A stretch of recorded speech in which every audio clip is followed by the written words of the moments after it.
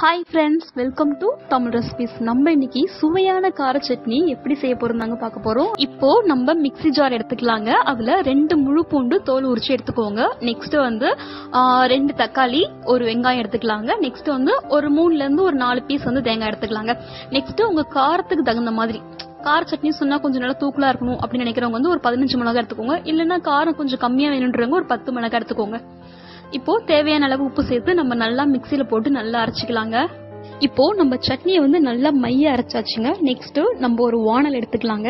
அதுல வந்து நல்லெண்ணெய் ஊத்திக்கலாம். நல்லெண்ணெய் வந்து கொஞ்சம் நம்ம எக்ஸ்ட்ரா ஊத்தணும்னு சொன்னால் சட்னியோட சுவை வந்து கொஞ்சம் நல்லா இருக்குங்க. இப்போ எண்ணெய் நல்லா காஞ்ச உடனே கடுகு கருவேப்பிலெல்லாம் போட்டு தாளிச்சுக்கலாங்க. நெக்ஸ்ட் நம்ம அரைச்சி வச்சிருக்கோம் இல்லையா சட்னி? அதை வந்து அது கூட போட்டு கொஞ்சம் நல்லா நம்ம வந்து கிண்டிக்கலாங்க. ஒரு ஒரு ரெண்டுல இருந்து ஒரு மூணு நிமிஷம் நம்ம கொஞ்சம் நல்லா கிண்டிக்கலாங்க. ஏன்னா கொஞ்சம் பச்சை வாசனை இருக்கும் இல்லையா? ஸோ அதுக்கு போகிறதுக்காக கொஞ்சம் நம்ம நல்லா கிண்டிக்கலாங்க. அவ்வளோதாங்க நம்மளோட சுவையான கார சட்னி வந்து ரெடி ஆயிடுச்சுங்க.